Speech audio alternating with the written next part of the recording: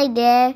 This story's title is Finding Winnie, the true story of the world's most famous bear by Lindsay Mattick, illustrated by Sophie Blackall.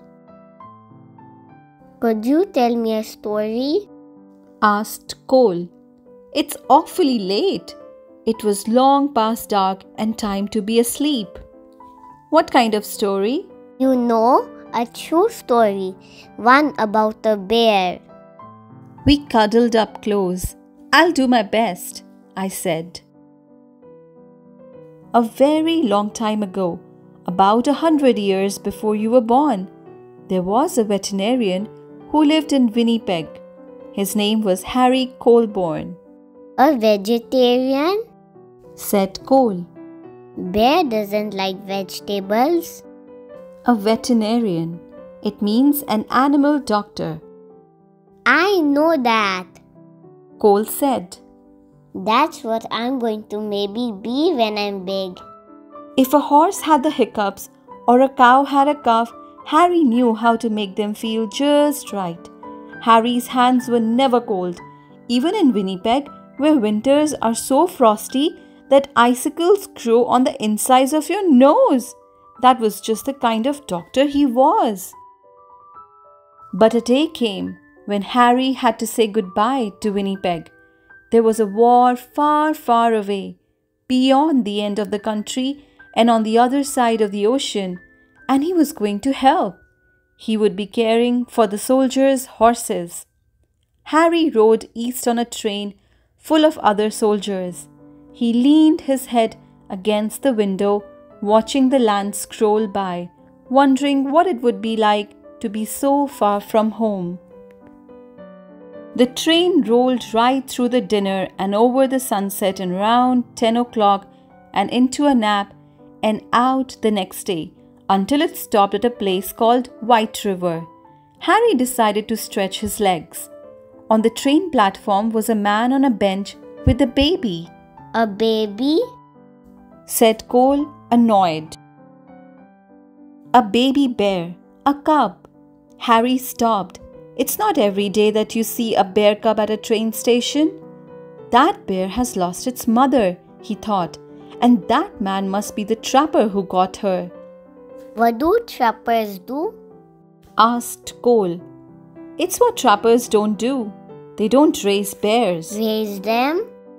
You know, I said, love them. Harry thought for a long time. Then he said to himself, There is something special about that bear.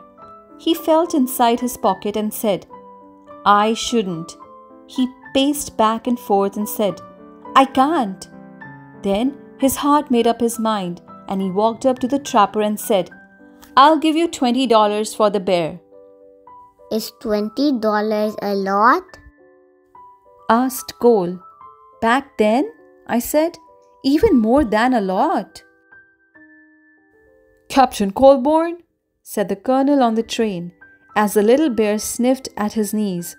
We are on a journey of thousands of miles, heading into the thick of battle, and you propose to bring this most dangerous creature? Bear stood straight up on his hind legs as if to salute the colonel. The colonel stopped speaking at once, and then, in quite a different voice, he said, Oh, hello. The men of the Harry's regiment squeezed by to have a look. I have decided to name her Winnipeg, Harry told them, so we'll never be far from home. Winnie for short. They had a very long way to travel, and they had already gone three or four feet when Winnie grew hungry. What do bears eat? The men wondered. What don't they eat? said Harry. Vegetables. Cole reminded me. Winnie ate vegetables, I said. She ate everything except onions. They brought her carrots and potatoes, and apples and tomatoes, and eggs and beans and bread, and a tin of fish, and some slop in a dish. But Winnie was still hungry. How about dessert? said Harry, holding up a bottle of condensed milk. Taking the treat in her paws, Winnie lay on her back and hummed a happy song as she drank. The men roared. Harry and Winnie gathered with soldiers from all over Canada in the green fields of Valcartier. A whole city of tents had sprung up there. One was a hospital for horses where Harry went to work.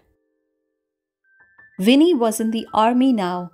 Harry taught her to stand up straight and hold her head high and turn this way and that, just so. Soon she was assigned her own post. Even the colonel agreed that Winnie was a remarkable bear. She might have been the best navigator in the whole army. If you hid something, she could find it. She could. What if it was farther away and farther still? Remarkable, he cried. In the evenings, both of them were too tired to move. When Harry thought about Winnie and the voyage across the ocean, his head said, I shouldn't. His head said, I can't. But his heart made up his mind. Nobody had ever tried to float so many people and animals across the Atlantic Ocean before. Thirty ships sailed together, carrying about 36,000 men and about 7,500 horses and about one bear named Winnie. When they finally arrived in England, the regiment went to training on the Salisbury Plain, where it rained and rained and rained. But Winnie didn't seem to mind. She was the mascot of the 2nd Canadian Infantry Brigade, and she attended her post with vigor. One day, Harry came running while she was doing her exercises in the tent. You'll bring the whole place down, he said with a laugh. She had grown. It was winter when the order came. The time had come to fight. Winnie posed proudly with the men for pictures to send home to their families. Harry thought for a long time. His head argued one way and then the other, but his heart made up his mind. He went to Winnie and said in a serious way, there's somewhere we need to go. Winnie brushed the mud off her nose and nuzzled in close.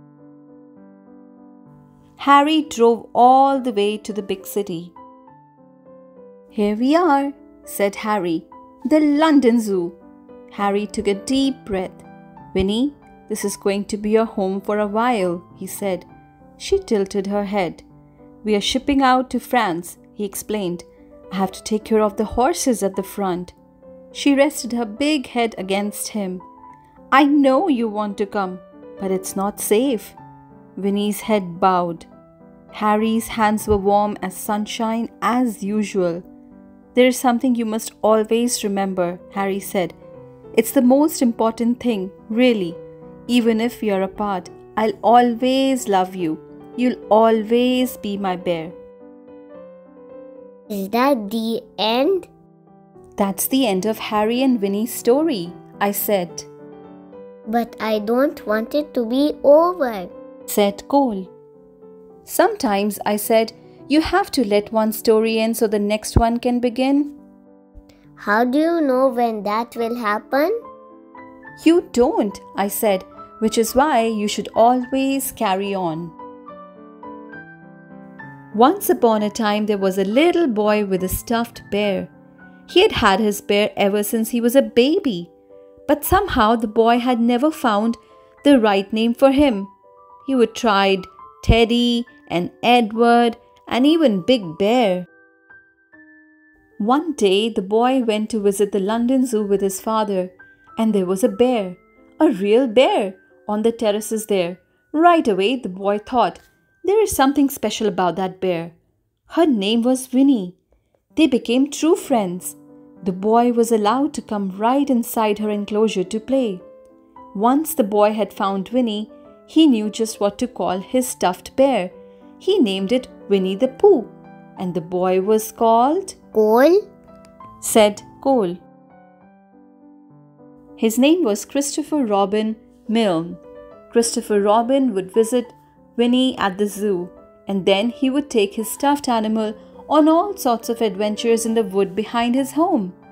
His father, Alan Alexander Milne, wrote books all about them. Harry's Winnie became Winnie the Pooh, and there was never been a more beloved bear. But what about Harry?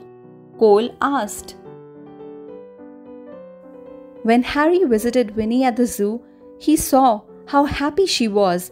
She was being raised, she was truly loved, and that was all he had ever wanted from the moment they met at the train station in White River. So after the war, Harry returned to Winnipeg and his life as an animal doctor. Before long, he was married and had a son named Fred, and Fred had a daughter named Laureen, and Laureen had a daughter named Lindsay, which is me, and then I had a son. When I saw you, I thought, there is something special about this boy, so I named you after your great great grandfather, Captain Harry Colebourn. I named you Cole. That's me? said Cole in a whisper. That's you. That's Winnie? Yes, I said. That's Winnie. And it's all true? Sometimes the best stories are, I said. Cole's eyes grew big and he said nothing for a long time. Then he hugged his own little bear close and let out a yawn that reached far away, and they both turned over and fell asleep. The end. Thanks for watching. For more exciting read aloud stories, please subscribe to our channel Little Hearts Super Kids. Also follow us on Instagram for amazing updates.